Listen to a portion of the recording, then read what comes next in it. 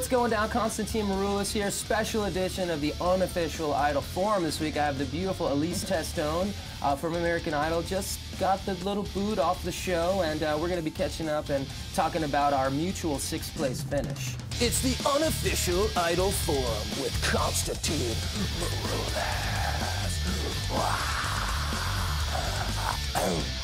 Special edition. Your voice is, is really amazing. You have a, an, amazing instrument. Did you uh, sort of train formally ever, or are you kind of just Yeah. more of a raw performer? Well, I have a music degree. I That's did really- my opera in different languages and theater and classical, and um, but then I like hit the bars hard. right- And I mean, hold on. Me too. Singing, I hit like the bar gigs hard, and I did a lot of Janis and stuff like that. So you know, I kind of that You grip. developed that. But do you remember having that from an early age, even when you were doing the classical stuff? Did you always kind of have a bit of edge to your voice? Um, I did, but definitely not as much as I do now. I probably did some things that weren't always the best for my voice when I did those kinds of gigs. I've never done anything like that. No, yeah, I mean, I'm sure. Perfect, right? Totally, totally perfect. Good choices all the time. Yeah. But uh, that's funny. So we really do have a lot in common. Yes, we have the sixth place finish in common. We're both really good looking. We are. It's crazy. I'm just. I'm looking at her. I'm like, I, I have the same problem. it's like the same. Yeah, right. um, but uh, so that's really cool. And I would think that you're probably like the this season's rocker of the show. Yeah.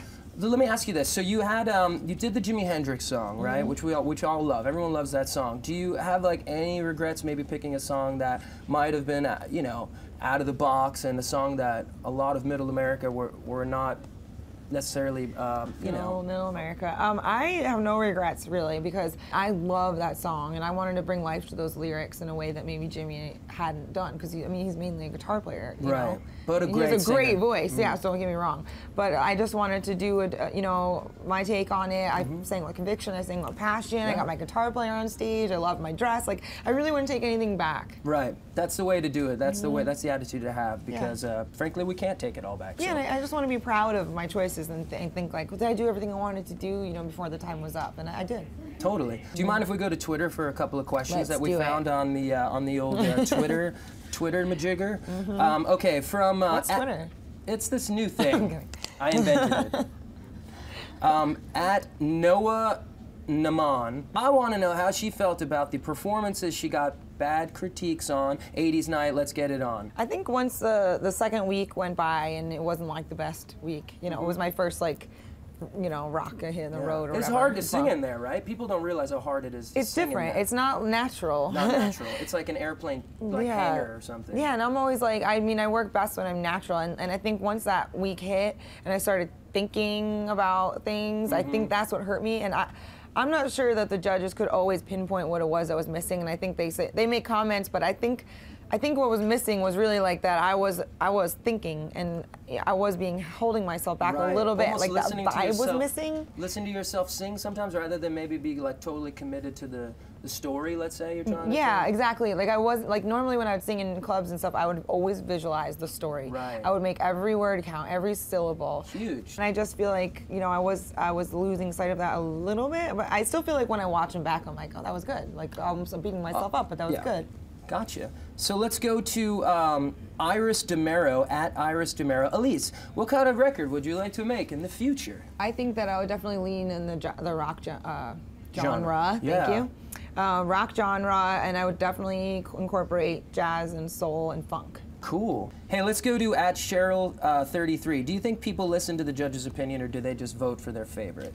I think people ultimately vote for their favorite, but um, The judges I have a way of influencing things. I think things, the maybe at judges times. and sometimes even the pictures on the screen, and like the way the volume is set. I Sure. think all these things will sway the votes, and sometimes people don't even realize that they're being swayed. Right. But uh, After you know, all, it is a big TV show. I feel like if something is meant to be a certain way, it's going to be that way no matter what happens. Yeah. Of the remaining people, you know, who do you feel has a real shot to not only win the thing, but maybe go on to be a real uh, superstar one day?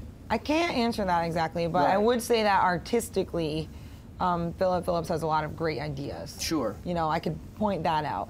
Um, Skylar writes some really great songs too. Um, and I've heard their original music, but the others I haven't heard their original music. Right. But they have, um, Josh has a very original sound. So Definitely. those, those Nobody things to consider. Nobody on earth sounds like that guy. I really don't want you to go, Elise, but I do thank you so much for coming. You're awesome. I wish you all the best, and I will definitely come see you rock out on stage one day. Maybe this summer on the on the big tour. If you don't come, I'm totally gonna call you and make fun of you. Cool. You won't be the only one. Uh, thank you again. Appreciate it. And don't forget to tweet all your questions uh, at Fuse TV or at Constantine M. And uh, check out the uh, Fuse uh, YouTube channel this week for the show Thursday night. Check it out. Thanks again. Thanks for coming. Yeah.